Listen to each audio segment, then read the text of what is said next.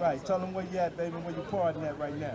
I'm at the Match of Chelsea Fridays. You know, that's the spot around the world. You know, Right. They do it like that out here in LA, baby. it's all good. You actually want to see some real women? Go right over there. Now what? Tell them what's over there, baby boy. Uh, can't say that I want to. Some real dimes, baby. Some My man, dimes. my LA man. dimes. You know what I'm saying? Right. Thank you for speaking on the Keep It Real show, baby. No problem, man. One love. All right.